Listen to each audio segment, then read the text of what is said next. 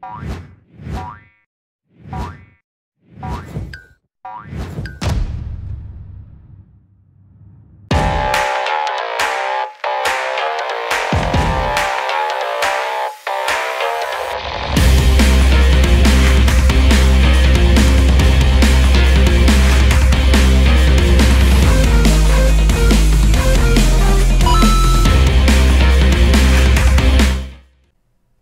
Hello and welcome back to Frogboy X1 Gaming. I'm Andrew and tonight we're talking about the outrage over Xbox. So if you like this content, don't forget to like and subscribe.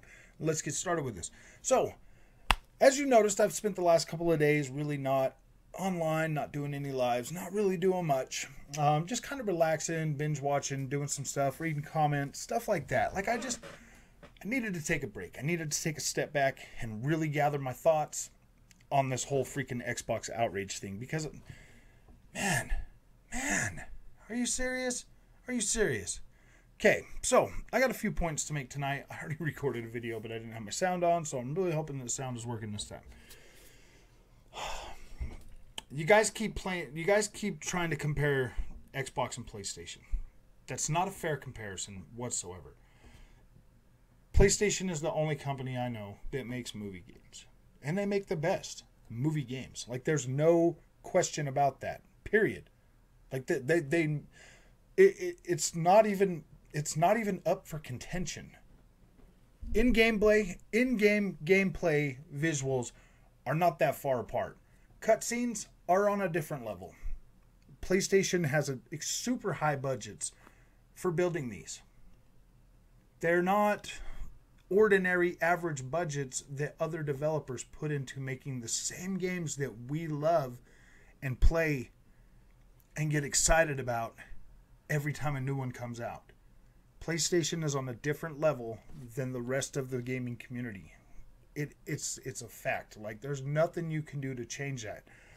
I do not think that Microsoft is going to start increasing the budgets as high as PlayStation budgets to bring us games to okay when when they increase the budgets that high and the and the majority of that money goes to making these cutscenes, they got to cut the, they got to cut it somewhere. They got to cut out gameplay. They got to cut out length of game. They got to cut out there's there's stuff that's going to be cut to give you those cutscenes. And I would much rather have the gameplay. Period. Period. I would much rather have a bigger, better map or better freaking or or, or even story content that's not in these really high quality cutscenes. Like, I get it. I want to be blown away too. I do. But I'm telling you, everything that I've played on my PlayStation 5 to date is essentially PlayStation 4 games. And we're paying $70 for them. We're not even paying 60 bucks for them anymore. So I don't get what the freaking big deal is. Now, I understand. there are a lot of genuine Xbox gamers out there right now on Twitter, in the comment section, freaking out about this. like they're being upset about it. And I'm like, my gosh, guys, like seriously, like seriously. I'm already over it. Like I am uh, like like I was mad. I'm still mad. I mean, I'm still mad, but I'm over it. You know what I mean? Like it, it, it is what it is. There's nothing I can do to change it. There's no way I can get Microsoft to reconsider and speed up the speed up the launch dates for either of these two games, and neither can you. Um, yeah, we can vote with our wallet all we want. We can say, oh, well, we're not going to pay our we're not going to pay our subscription for Game Pass anymore. Like whatever you want to do, whatever, however you want to show your support. Now on this channel, it is a known fact that I am 100% a Forza fan. I'm, I'm perfectly okay if I get a new Forza this year. Like if I get a new Forza, that for me would be like, oh yeah, Microsoft delivered. I didn't buy an Xbox Series X being like, oh yeah, man, by the way, I'm gonna get I'm going to get all these Bethesda games. I'm going to get all this. I'm going to get all this. They're going to keep doing acquisitions, and I'm just going to get all these games as exclusive. Like I, I never bought my Xbox for that, and I need you to understand that that's not what I bought my Xbox for. I bought my Xbox so that I can have a better third-party experience, so that I could have a better third-party experience, and so that I could enjoy Forza games when they come out like being able to play Halo and Gears and all of those other, you know, Xbox first party games that's a bonus to me. That's a bonus to me. I get to play those and, and, and enjoy those. But I mean, the main games I'm always after are third party games. That's why when they buy a company like Bethesda, then it's like, okay, yeah, that's exciting, you know, because Bethesda is something I buy a lot of games from. Are they like my top freaking? I don't think Bethesda's even in my, in my like, like my top freaking tier of developers, man. Like I, I just I don't know. I mean, I like Bethesda games. I think they're fine, but they're they're not like oh my gosh, man. They're like I'm I'm not like a super big, um, a super big Skyrim fan. Like I like Elder Scrolls Online, but I'm not really like the super super big Skyrim fan. I just never could get into the wonky movement and stuff like that. Whatever you know, on like the third person camera, um, and and like I, I've I've barely started to get into like first person slashers like uh, um, uh, Dying Light two and stuff. Like those are pretty cool, but they got to have an adjustable field of view. Man, you can call me. You can say that I'm an Xbox shill all you want. Like I, I don't even care. Like like I really don't care. But I'm done being mad about this, and I'm done seeing all the negativity about it. Like this is way too negative for something that. It's getting way too negative. It's getting way too out of hand. A lot of people are looking at what these PlayStation fanboys are saying, and it's like, dude, who cares what the PlayStation fanboys think, man? Who cares? You bought an Xbox because you like Xbox.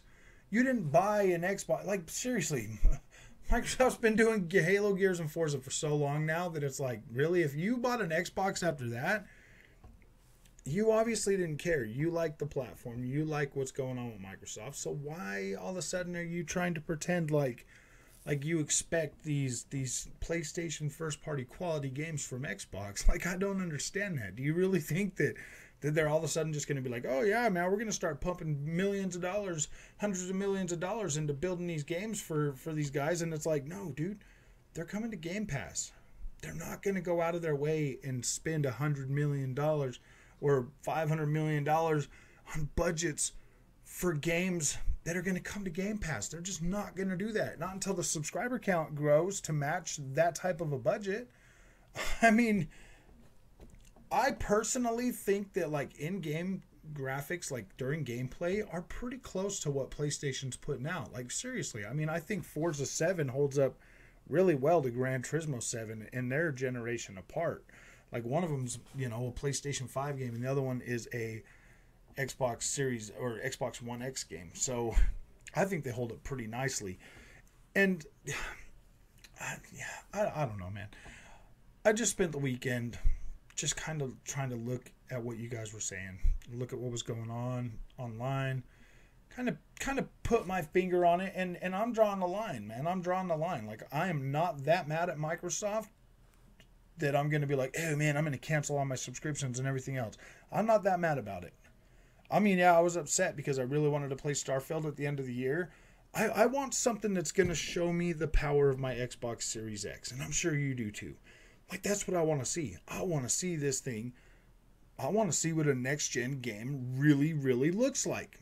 And the closest I've got is, is Flight Simulator. Flight Simulator, no doubt, is probably the most impressive next gen game I've seen so far. And that's just because of the sheer scope the sheer scope, being able to fly across the world. I mean, it it it, it looks amazing. You know, different times of the day and night and every like sunsets. It it literally looks phenomenal, like a lot. And and and I'm happy with that. Like I. I can play Flight Simulator all the time, and I'm always amazed at just how great that looks.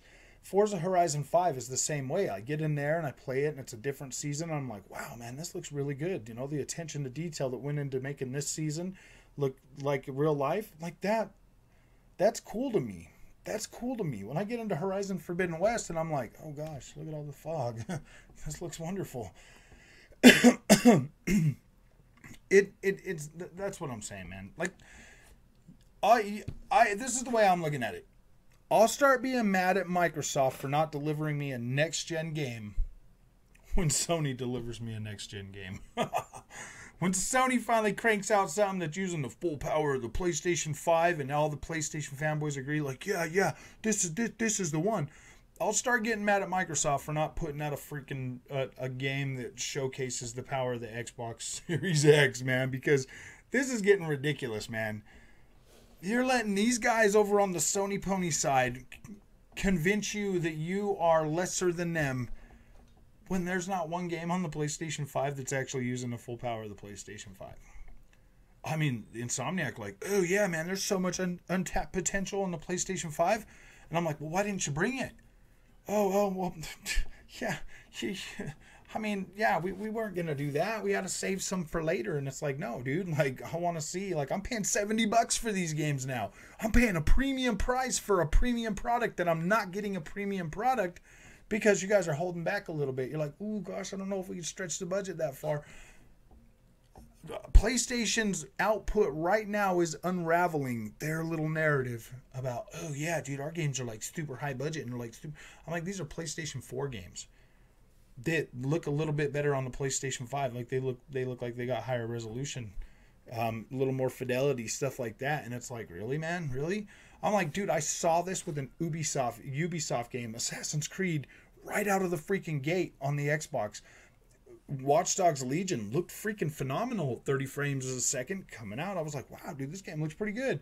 I'd already seen that stuff, man. Like I've already seen that. I've already seen like fields full of freaking vegetation and grass now. Like, yeah, I'd already seen that. It, it, it was literally built for PlayStation 4. You know what I mean? Like I, I don't get I don't understand why. Why? Why, fellas? why are you guys getting so down on Xbox? Like, I get it, man. If we go a whole year with Forza, whatever, whatever. If that's it, man, I mean, they, they came out and they showed us off all these games. That's why I didn't like the fact that they came out and they showed off a bunch of stuff. I didn't like that, especially for stuff that's far out, man. Like, that, that just made me mad because it's like, we know we're not getting these games for a little while but they tell us like oh yeah man you're getting fable and all this stuff and it's like well when man like when can we expect something like that and now we got people like oh yeah 24 25 26 and i'm like like really man? Like why did they tell us about that? Because now we're thinking about it all the time and we're just stirring up our getting ourselves stirred up around all this hype and then it's not and then it's going to take a long time. Like i don't want to know about games that are coming out four years from now. I want to know about games that are coming out in six months. Six months games that are like right close to being done. They're putting on the finishing touches man. Then i want to know about them i don't want to know about stuff that's coming out two years later you know i want to know that like hey man we got this many projects in the work works. Cool. That sounds cool. That sounds reasonable. You got this many projects? Cool man. Like like, like we'll, we'll be happy to see those. Man, I don't know. It just kind of it, it kind of bugs me a little bit that everybody's just so quick to like turn on Microsoft all uh, like at the drop of a dime, man. People are saying they're oh yeah, we're Xbox fans, but then they're like just bashing them and stuff and it's like, "Come on, guys. Really? Is it really that bad?" Is it really that bad? And, and seriously, that just makes me think that if you are an Xbox fan, you are just saying that because I, I don't. Okay. I know you're upset because I'm upset. I'm clearly upset about it too. But I'm not going to just sit here and start bashing a company that's done that, that that's given me I feel I feel justified with my purchase of the Xbox Series X. I play it all the time. I'm always turning it on. I, I have a desire to turn it on all the time. I don't have that desire with my PlayStation 5.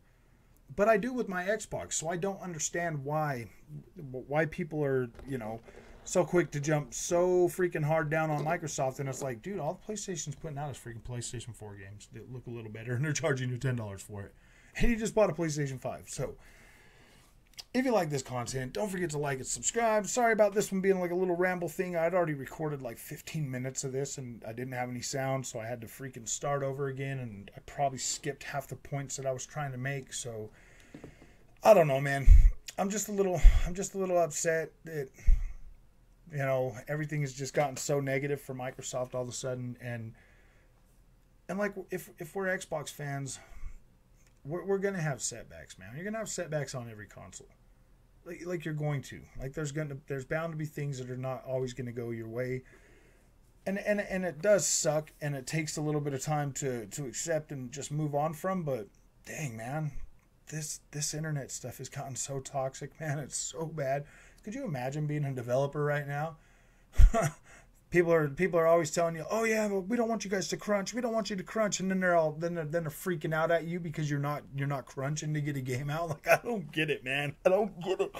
It's so it's it's so dumb, man. Like it, it really is. It's so dumb. Yeah, we need you to crunch to get a video game. Oh no, don't crunch. I don't want you guys to. I don't. I don't want you guys to feel like you have to work it so hard.